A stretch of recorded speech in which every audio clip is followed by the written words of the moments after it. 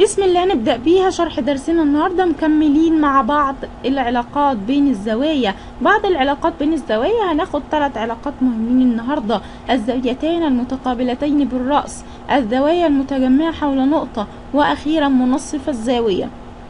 تعالوا مع بعض نشوف أول قصة عندنا. قصة الزاويتين المتقابلتين بالرأس جايين منين؟ بيقول إذا تقاطع مستقيمين فإن كل زاويتين متقابلتين بالرأس متساويتين في القياس. تعالوا نشوف الكلام ده ب... ونشرحه بالرسم. بالرسم عندي بيكون أسهل. نفهم أسرع. طب لو عندي المستقيم دال جيم تقاطع مع المستقيم ألف ب في النقطة واو. يبقى إذا كانت النقطة واو نقطة تقاطع المستقيمين. في المستقيم ألف ب والمستقيم دال جيم. هينتج عن تقاطع المستقيمين دول أربع زوايا. هيقول لي كل زاويتين متقابلتين بالرأس متساويتين في القياس. فين أول زاويتين بيساووا بعض؟ آه الزاوية د واو ب هتساوي الزاوية ألف واو ج. الزاويتين دول بيساووا بعض في القياس بالتقابل بالرأس. طيب الزاويتين التانيين هما زاوية د واو ألف وزاوية ب هتساوي زاوية ب واو ج. زاويتين متقابلتين بالرأس. يبقى قصة الزاويتين المتقابلتين بالرأس خلصت كده. تعالوا نفتكر مع بعض قلنا إيه؟ قلنا الزاويتين المتقابلتين بالرأس جاية نتيجة تقاطع مستقيمين في نقطة نتج عنه أربع زوايا. كل زاويتين متقابلتين بالرأس متساويتين في القياس. تعالوا نشوف القصة بتاعتنا التانية قصة الزوايا المتجمعة حول نقطة. ببساطة شديدة بيقول لي مجموع قياسات. الزوايا المتجمعة حول نقطة بتساوي 360 درجة. تعالوا برضو نشرح الكلام ده بالرسم عشان نفهم أسهل. لو أنا عندي النقطة ميم ورسمنا منها عدة أشعة كده الشعاع ألف الشعاع د الشعاع ج الشعاع ب. رسمنا أربع أشعة متجمعين في نقطة اللي هي ميم. فالأربع أشعة نتيجة تجمعهم في النقطة ميم عملوا أربع زوايا زاوية واحد واثنين وتلاتة وأربعة. يبقى الزاوية المتجمعة حول نقطة إذ الأربع زوايا دول اللي عمل اللي جم نتيجة تقاطع الأربع أشعة أو تجمع الأربع أشعة في النقطة ميم مجموعهم هيساوي 360 درجة. يبقى قياس زاوية واحد زائد قياس زاوية اتنين زائد قياس زاوية تلاتة زائد قياس زاوية أربعة هتساوي 360 درجة. طب ملحوظة يا أصحابي مهمة جدا. دول أربع أشعة متجمعين في نقطة ميم فعملوا لي أربع زوايا مجموعهم 360 درجة.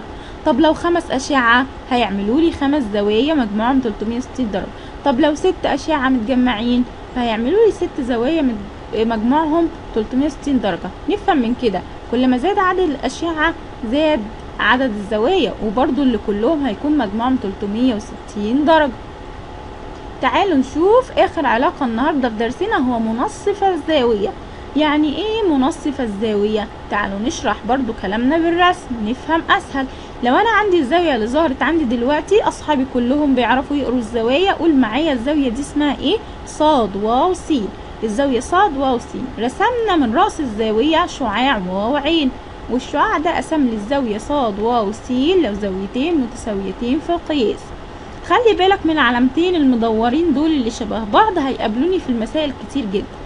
العلامتين المدورين الحمر اللي شبه بعض دول بيدلوا على إنهم الزاويتين دول متساويتين في القياس الزاوية صاد واو عين بتساوي الزاوية س واو عين فخلي بالك أي علامتين شبه بعض فمعناهم هو عايز يقول لي إن الزاويتين دول يعني متساويين في القياس. يبقى هنسمي الشعاع واو عين بمنصف الزاوية صاد واو عين ليه؟ هنسميه منصف ليه؟ لأنه قسم الزاوية صاد واو س لزاويتين متساويتين في القياس فبنسميه منصف الزاوية. نصفها يعني قسمها لزاويتين متساويتين في القياس. كده خلص شرحنا. تعالوا بقى ناخد أمثلة ونحلها بطريقة بسيطة. في الشكل المقابل يوجد كل من قياس الزاوية أ ب ه عينك على الرسم فين قياس الزاوية أ ب ه؟ وعايز كمان في المطلوب التاني قياس الزاوية ه ب واو. خلي بالك أنا قلت لك من أي علامتين شبه بعض شايف علامتين الإكس الحمر اللي تحت بعض دول معناهم إن الزاويتين دول متساويين في القياس. طيب خلي بالك لاحظ معايا إن المستقيم ا ج عامل زاوية مستقيمة قياسها 180 درجة. فاكرين قياس الزاوية المستقيمة 180 درجة؟ طيب الزاوية المستقيمة اللي قياسها 180 درجة دول آه مقسومين لزاويتين. زاوية معلومة قياسها 135 وزاوية مجهولة.